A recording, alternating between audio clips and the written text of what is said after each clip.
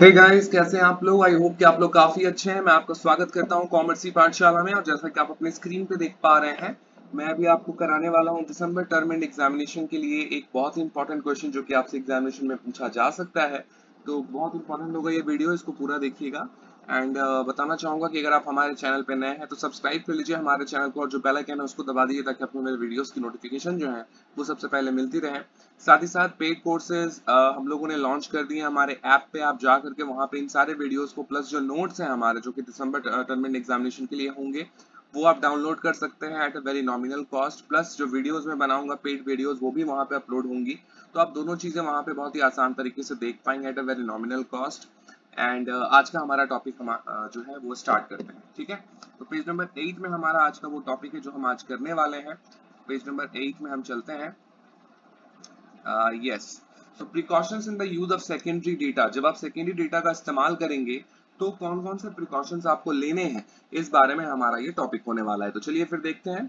So a careful scrutiny must be made A, uh, a careful scrutiny must be made before using published data. The user should be extra cautious in using secondary data and he should not accept at its face value. है ना तो एक careful scrutiny होनी चाहिए जब भी आप publish data जो भी पब्लिश डेटा ऑलरेडी हो चुकी है जो सेकेंड डेटा होता है वो ऑलरेडी पब्लिश हो चुका होता है वो प्राइमरी डेटा नहीं होता है ठीक है ना तो बहुत ज़रूरी है कि जो डेटा ऑलरेडी पब्लिश हो गया है आप उसको बहुत ही केयरफुली उसको स्क्रूटनी करो चेक करो कि कहीं उसमें कुछ गलती तो नहीं है वगैरह, है ना?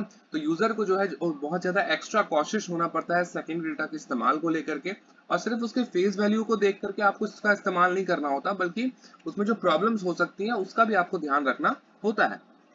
The reasons may be that that such uh, data is full of errors because of bias, inadequate sample size, errors of definitions and uh, computational errors etc. ये जो डेटा होता है ये रीजन इसमें ये रीजन बताया जा रहा है कि यहाँ पे बहुत सारे लाइक like, रीजन हो सकते हैं जिसके ज़रिए वहाँ पे जो है कुछ गलतियाँ आपको मतलब दिख दिख सकती हैं। जैसे कि सपोज़ जो, जो डेटा है वो बायस है। मतलब उसने इंडिविजुअल डेटा तो लिया है बट उसने थोड़ा सा यू नो इन्फ्लुएंस में आकर के डेटा को तैयार करा है जो भी प्रीवियस डेटा है। तो सेकेंडरी डेटा का जब भी आप इस्तेमाल करोगे तो आपको देखना होगा कि आपका वो जो डेटा है, वो बायस ना हो, है ना? जो उसका सैंपल साइज़ है, वो इनएडुकेट ना हो, है ना? ऐसा नहीं कि सिर्फ़ दो लोगों के ज़रिए ही आप पूरे 20 लोगों का जो है परसेप्शन तैयार करने की कोशिश कर रहे हो, है ना? तो अगर आप 20 लोगों का परसेप्शन आपको तैयार करना है तो कम से कम पाँच लोग तो होने ही चाहिए।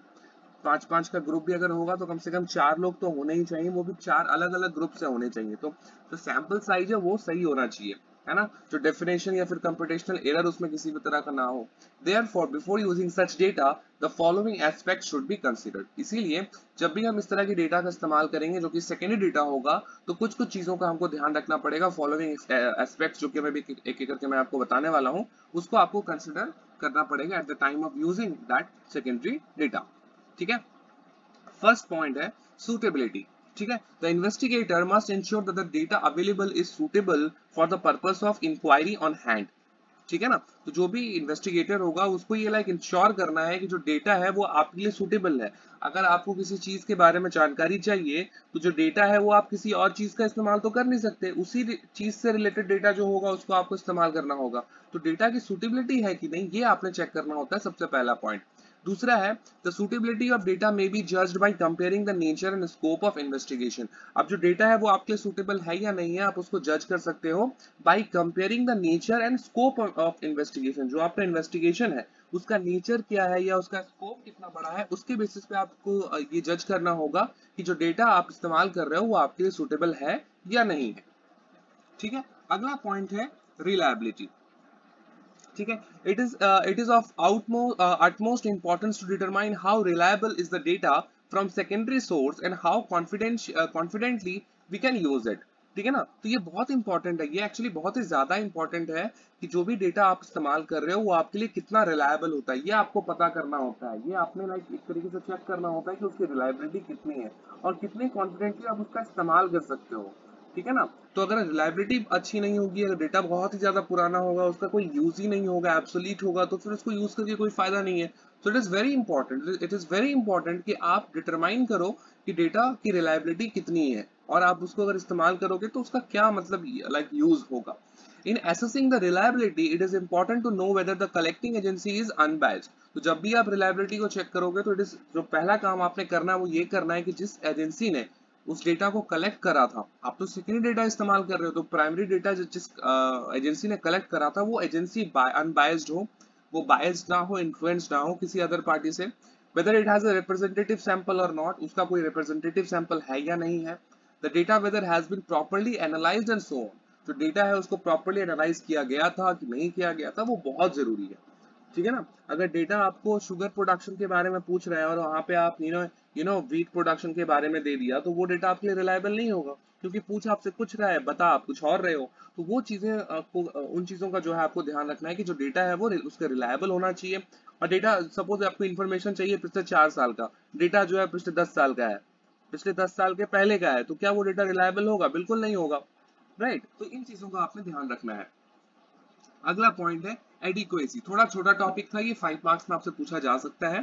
So it is very important आप इसको देख लीजिए। Data from secondary sources may be available but its scope may be limited adequacy का मतलब क्या होता है कि जो डेटा है, वो एडिक्वेट आपके पास अवेलेबल है। ऐसा तो नहीं कि वो कम है, क्योंकि कम होगा तो आपका जो एक प्रॉपर ओवर जो प्रॉपर ओवरव्यू है, वो आपका बन नहीं पाएगा। तो डेटा एडिक्वेट होना चाहिए, ठीक है ना? तो data from secondary sources may be available but its scope may be limited data जो है, हो सकता है कि आपको सेकेंडरी सोर्सेज मिल जाए, लेकिन जो उसका स्कोप है, जो उसका जगह है, हो सकता है कि वो कम छोटा हो। ठीक है ना? क्योंकि जब भी आप चीज़ों को करने की कोशिश करते हो तो आपका एक स्कोप होता है कि स्कोप में मेरा ये चीज़ें जो है अप्लाई होंगी। है ना? तो जो सेकेंडरी डेटा होगा, वो तो भाई ऑलरेडी पहले यूज़ हो चुका है। इसका मतलब उस टाइम पे जो बना था, उस टाइम पे उसका स्कोप छोटा होगा डेफिनेटली है ना? समय के साथ साथ चीज़ें बदलती हैं, बड़ी होती हैं। है ना? तो ये चीज़ यहाँ पे बोलने की कोशिश की जा रही है कि उसका स्कोप जो है वो छोटा हो सकता है। Therefore this may not serve the purpose of investigation और इसी कारण से हो सकता है कि जिस जो इन्वेस्टिगेशन करके आप चीज़ों को पता लगाना चाह रहे हैं, हो सकता है कि आपको वहाँ से पता ना चल पाए।